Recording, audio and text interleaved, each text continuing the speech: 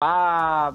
han destacado medios mexicanos una de las entrevistas con el Choco Lozano, que si bien es cierto, ayer habló en conferencia de prensa, pero hoy han destacado en una entrevista ya más eh, personal, uno de los medios, el tema de que el Choco Lozano reveló de la posibilidad que tuvo Oscar de fichar por un equipo de la Premier League. Y nos referimos nada más y nada menos que al Tottenham, posibilidad que le fue truncada. Mira cómo, cómo es, ¿no? Los aspectos que,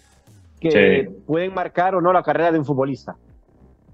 Sí, correcto. Y aparentemente lo que él mencionaba que no era una cuestión de él, sino que había sido en un tema seguramente o del precio del jugador, porque era, era algo entre clubes que no se cerró y tal vez, no sé, Tottenham no llegó al precio que esperaba Olimpia en ese momento, no lo sabemos, él no lo menciona tampoco, solo lo deja como ahí entre líneas, eh, entonces una pena porque yo creo que el Checo Lozano le hubiera, ido, le hubiera ido bien en el fútbol inglés, creo que hubiera progresado como, como jugador, yo creo que a la larga, bueno, eh, las cosas pasan por algo porque eh, estuvo muchísimo tiempo en, España, eh, no le fue mal, muchísimo tiempo en el fútbol europeo, en, en, la elite, en primera división, en segunda división, entonces a veces las cosas pasan por algo, pero sí fue una lástima porque Tottenham en ese momento era un equipo fuerte también, porque aparte de eso ya había dejado a Wilson Palacios, así de que le había dejado, digamos que las puertas abiertas a un Choco Lozano que por ahí pudo haber descollado en ese equipo.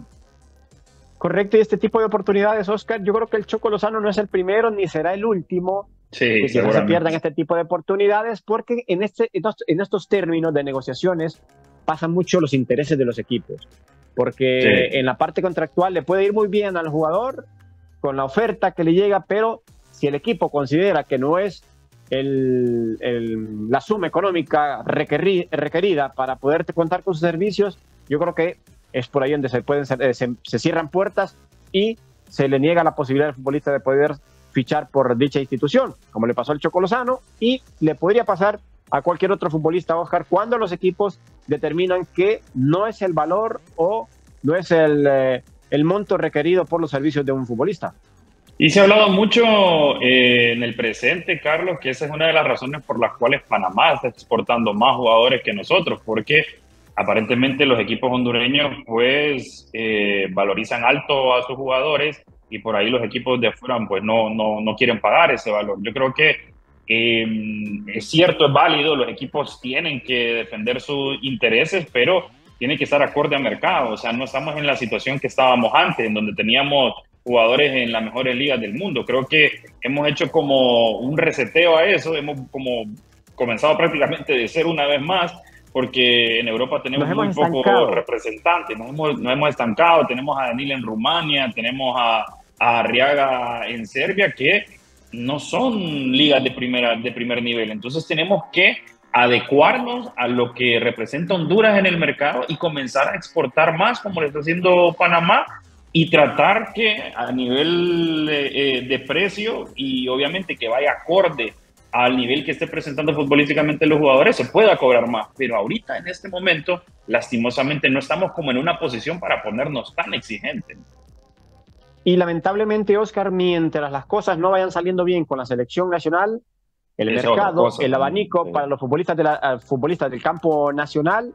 tendrán un panorama complejo. Aún también los que están en el extranjero no podrían tener posibilidad de dar un salto mayor por ese tema, porque normalmente eh, el tema de, vistas o el tema del escauteo de, los futbolistas va más en el tema selección nacional. Y entonces es ahí donde realmente pues las puertas se le han cerrado a los futbolistas del campo nacional. Creo que si hubiese clasificado a una nueva Copa del Mundo, Oscar, eh, otra historia podría estar cantando. Bueno, y, mira lo de Costa Rica. Costa Rica fue a Copa América y después de esa Copa América, dos, tres jugadores creo que ya están en Europa. Entonces, e, eso es lo que te da el roce internacional o este premundial que se va a jugar ahorita sub-20. Tenemos que hacer lo posible para que esa selección esté en el mundial porque ahí es donde también están los visores de los equipos europeos para poderse llevar joven talento. Digamos, por ejemplo, no sé, ¿te acordás cuando, me estoy yendo muy atrás, pero cuando fue el, el Mundial, perdón, de Nigeria 99, ahí nomás se fue David Suazo, ahí nomás contrataron a Rambo. Entonces,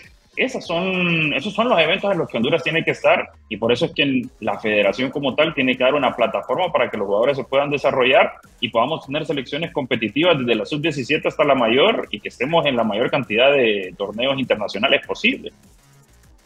De acuerdo, yo creo que eso es una plataforma pues muy importante, las selecciones nacionales de diferentes categorías, porque hay mucha visoría en este tipo de competencias es. y es donde comienzan escauteos de los eh, equipos internacionales para poder ir buscando figuras a bajo costo, pero que puedan representar pues, un eh, resultado positivo.